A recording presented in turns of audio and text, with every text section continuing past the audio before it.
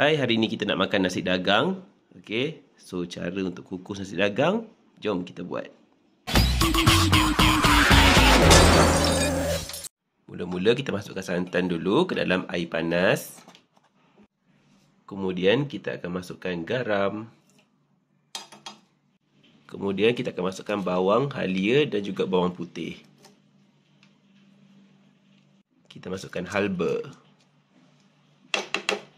Okey, so kita akan kacau biar dia sekata. Kemudian masukkan sedikit gula.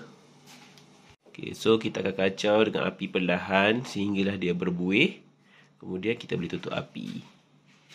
Okey, dia dah berbuih macam ni, bolehlah kita tutup api.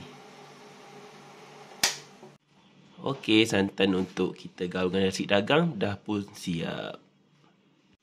Mula-mula kita basuh dulu beras nasi dagang ni.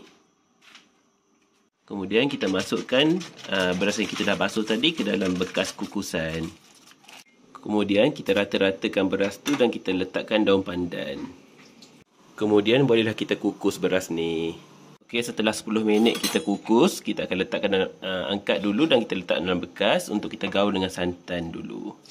Okey, so masukkan santan yang kita dah uh, masak awal-awal tadi. So untuk ni kita masuk dulu separuh daripada santan yang kita masuk masak tadi. Dan kita gaul-gaulkan sehingga rata. Kemudian bila dah rata kita masukkan balik ke dalam bekas pengukus dan kita akan kukus balik. Kemudian kita akan kukus balik selama 5 minit. Okey, kemudian kita akan angkat balik untuk selepas 5 minit dan kita akan masukkan semua santan yang separuh tadi. Dan kita akan gaul-gaulkan dan kita akan kukus balik tapi kali ini kukus kejap saja. Okey, kita akan kukus kali kedua dalam masa seminit je.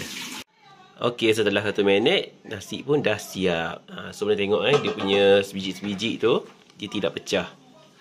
Okey, nasi dagang kita dah pun boleh dihidangkan.